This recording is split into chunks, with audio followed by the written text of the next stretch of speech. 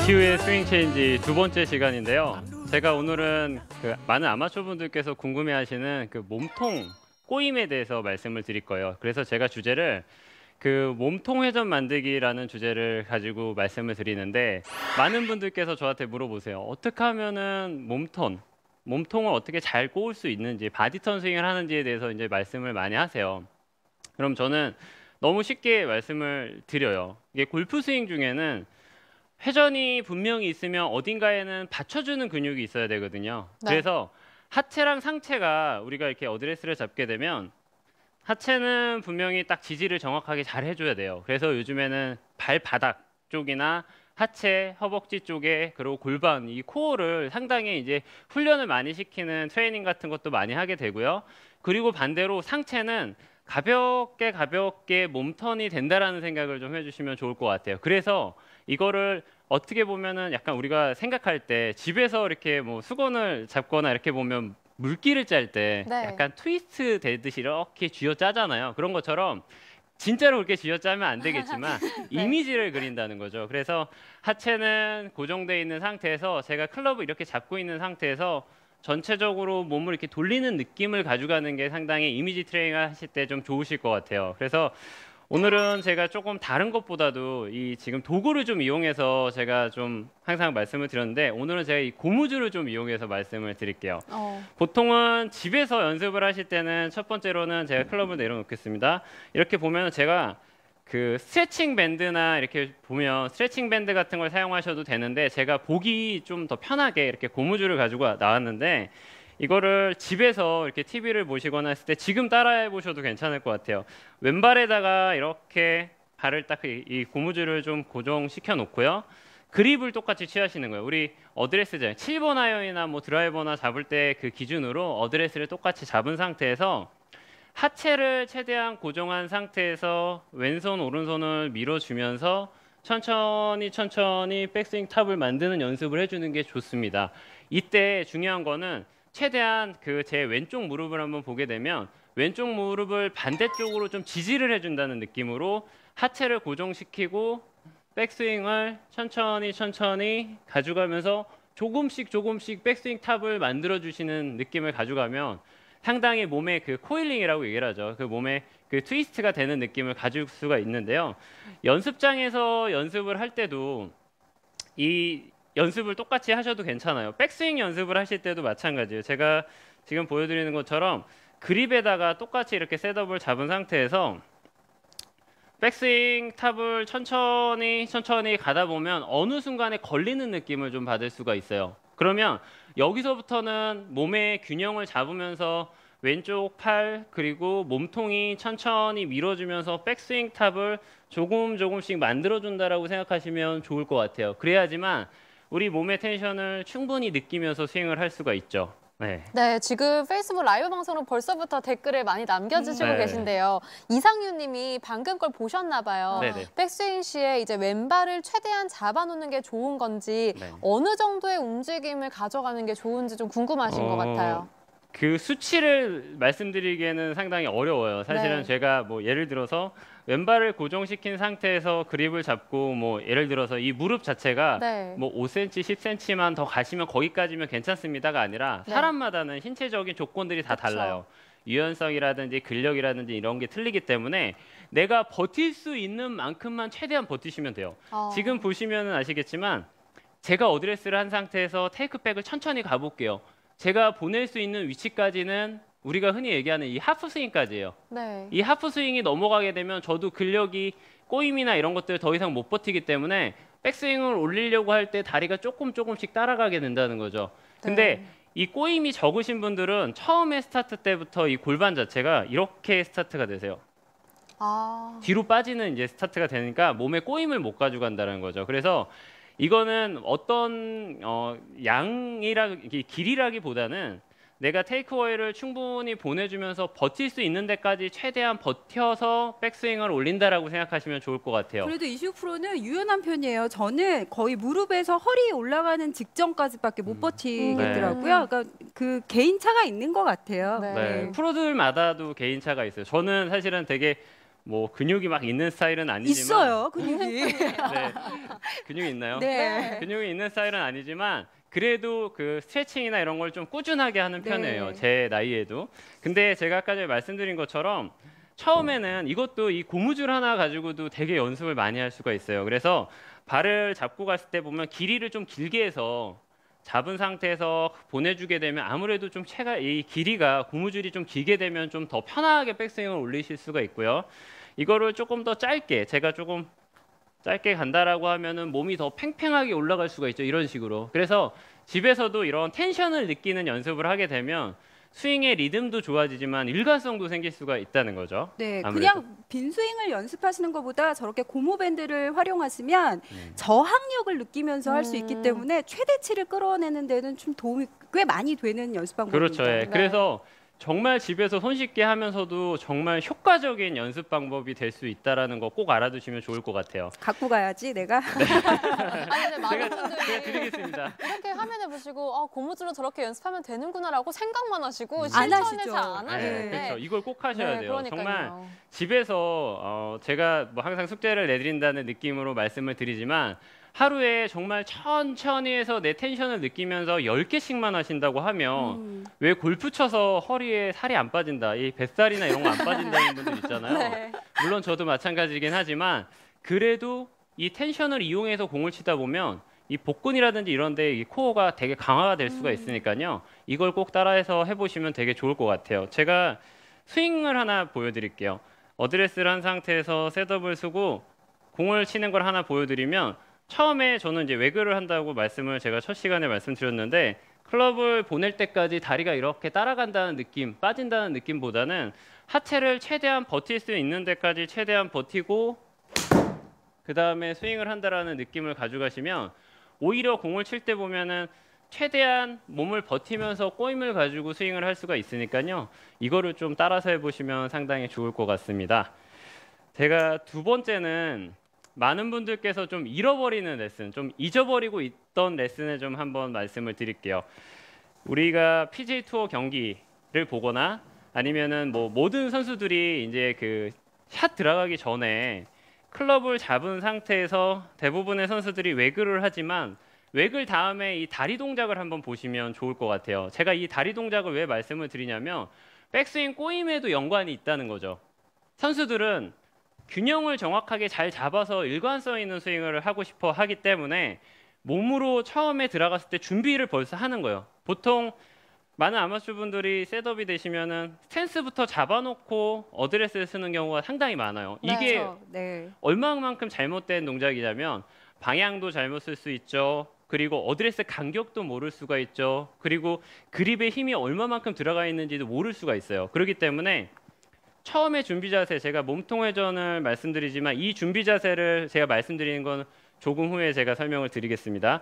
일단은 선수들이 어드레스를 할 때 보면 클럽을 먼저 타겟 방향으로 맞춰 놓고 그립을 잡고 발을 지금 잘 보시게 되면 이렇게 교차하는 걸 볼 수가 있어요. 음. 이 발을 교차해 놓는 이유는 내가 우리가 스윙을 할 때 보면 회전 운동을 하라고 얘기를 해요. 근데 이 회전 운동을 하라고 얘기를 하지만 중요한 거는 어느 중심을 잡아놓고 돌아줘야 된다는 거죠. 그렇죠. 그렇기 때문에 앞뒤로 중심을 잡혀져 있는 상태에서의 어드레스를 쓰고 그 다음에 양발을 넓혀야지만 우리가 그냥 흔히 얘기하는 이제 열십자가 정확하게 중심을 잡고 셋업을 쓸 수가 있거든요. 그거를 좀 이용한 제가 레슨을 말씀드릴 거예요. 두 번째는 양 발을 교차해 가지고 백스윙을 하는 건데요. 이거는 저희 선수들이나 아니면 아마추어 분들 많이 사용하시면 되게 도움이 될 것 같아요. 발을 이렇게 공을 치는 것처럼 조금씩 조금씩 이제 뒤꿈치 지금 오른발 뒤꿈치가 앞으로 나와 있는 상태에서 지금은 이제 백스윙이기 때문에 오른발이 조금 앞으로 나와 있고 왼발이 조금 뒤로 가 있다라는 느낌으로 어드레스를 한번 서 보시는 거예요. 이렇게 백스윙을 쓰게 되면 골반의 위치라든지 어드레스 간격이라든지 이런 걸 좀 만들 수가 있는데 이 상태에서 백스윙을 드는 연습을 하는 거예요.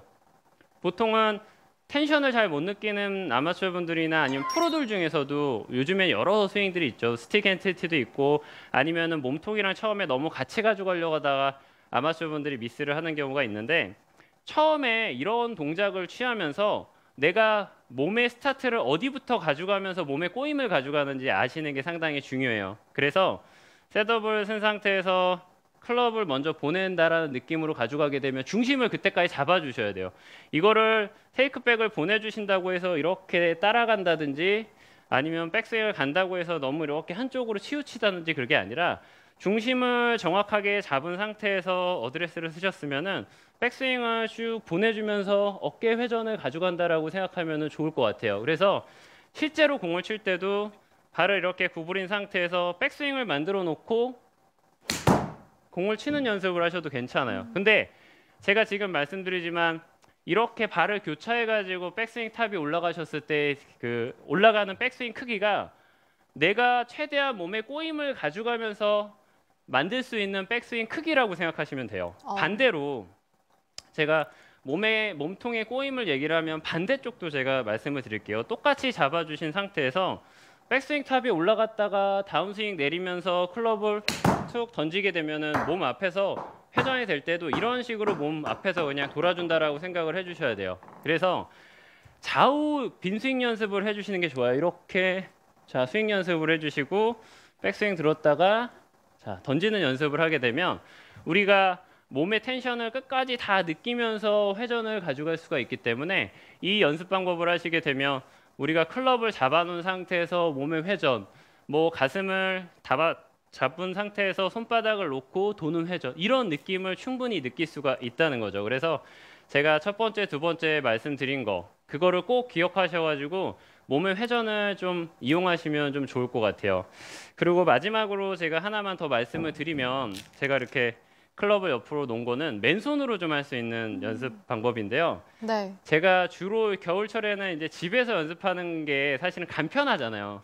뭐 연습장을 나가서 하실 수도 있겠지만 집에서도 할 수 있는 연습법을 제가 하나 더 말씀을 드릴게요. 많은 분들께서 이렇게 지금 손바닥을 지금 이렇게 어드레스를 한 상태에서 우리가 공 있는 쪽으로 공이 있는 쪽으로 손바닥을 이렇게 밀어 놓고요. 백스윙 탑을 천천히 보내면서 이 골반이 백스윙이 올라갔을 때 더 이상 안 올라가게 된다, 된다고 하면 이 오른쪽 골반을 살짝 열어 주셔도 돼요. 몸의 회전을 조금 더 가져가기 위해서는 골반을 조금은 회, 회전을 하면서 이 양손 자체를 가볍게 떨어뜨리면서 뒷주머니에다가 이렇게 넣는다라고 생각하면 뒷주머니에 넣는다고 생각하면 왼쪽 어깨가 어느 순간에 회전이 최고로 많이 돌아가 있을 거예요. 네. 그래서 집에서는 뭐 이런 연습을 하는 것 자체가 아 내가 어떻게 보면 몸의 회전을 가져가면서 연습하는 거다라고 생각하셔도 괜찮을 것 같고요. 조금 더 재밌는 방법으로 연습을 하라고 제가 말씀을 드리면 어드레스 쓴 상태에서 우리가 그 보면 뒤에다가 이 벽 짚는 연습을 좀 하라고 제가 말씀을 드리고 싶어요. 네. 제가 실제로 저희 선수들이나 아니면은 저희 레슨 해드리는 회원님들을 몸이 스트레칭을 할 때도 보면은 최소한 한 10분, 15분 정도 스트레칭을 하고 그 다음에 공을 치라고 말씀드리는데 가장 효과적인 방법은 백스윙 탑이 올라갔다가 등을 짚고 다시 등을 짚는 연습 방법이에요. 그래서 이거를 한번 해보시면 상당히 도움이 될것 네. 같은데 지금 시범을 한 번만 좀. 아, 네네. 아, 네네. 네, 네. 네. 제가 도와드릴까요? 네. 네. 아 지금 네. 시범을 보여주시면 네. 좋을. 것 같은 게 네네. 페이스북 라이브 방송을 보고 계시는 분들 중에 오영도님께서 네, 네. 네네. 백스윙 할 때 몸통 회전이 평소에 원활하지 않은데 유연해질 수 있는 연습 방법이 궁금하다라고 이거- 질문 주셨거든요. 지금 보시면 네, 지금 이거를 보고 계시죠? 해주시면은 네네. 되게 도움이 많이 되세요. 제가 처음에 백스윙이 하체를 고정으로 되나요? 해서 네. 아, 네. 아니요. 먼저 제가 한번 보여 드릴게요. 아, 네네. 한번 앞으로 어드레스. 가요? 네. 네.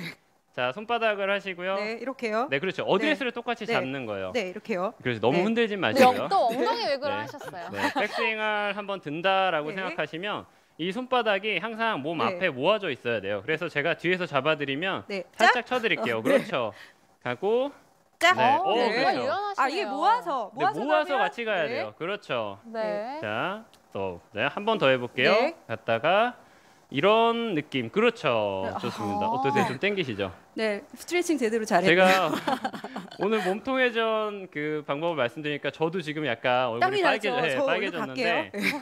평상시에 이런 연습들을 상당히 많이 해주시면 좋아요. 그래서 아까 말씀해주신 것처럼 네. 어드레스 셋업이 돼 있는 상태에서 이 손바닥을 이용해서 내 몸이 충분히 돌아서 등을 짚는다라는 지금 이 벽을 짚는다라는 느낌을 가지고 이게 돌아주시면은 내 몸의 텐션을 좀 이용할 수도 있지만 회전도 더 좋아질 수가 있어요. 어. 그냥 처음에는 이 회전을 가져가실 때 너무 하체를 잡아놓고 내가 이렇게 회전을 가야지라는 생각보다는 이 백스윙 턴이 잘 안 되시는 분들 같은 경우에 오른쪽 골반을 살짝 열어주면서 처음에 짚, 짚는 연습을 좀 해주시고요.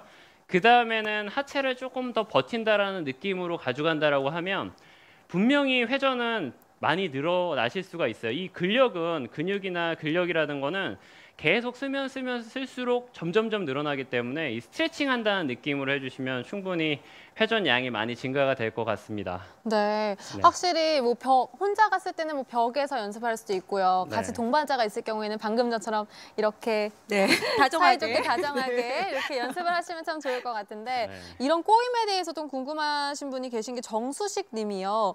백스윙 시에 이제 좌측 왼쪽 팔을 반듯하게 펴야 되는지 저희가 연습할 땐 그냥 이렇게 구부정하게 연습을 하잖아요. 네. 네. 근데 실제로 채를 잡고 연습을 할 때 팔을 쭉 펴야 하나요? 아니면 조금은 구부려도 되나요? 쭉 펴면 꼬임이 잘 안 되신다고 아, 느끼시나 봐요. 이렇게 생각하시면 될 것 같아요. 네. 보통은 많은 투어 선수들이 스윙을 할 때 보면 왼팔을 쭉 피면서 하는 동작들을 많이 보실 거예요. 분명히 네. 처음에 배우실 때도 왼팔을 충분히 피라고 말씀을 많이 들으실 건데 이거는 조금은 저는 좀 우회적으로 말씀을 드리면 그 단순하게 생각해 보시면 돼요. 이 왼팔을 가지고 이렇게 반동을 주면서 스윙을 하시잖아요.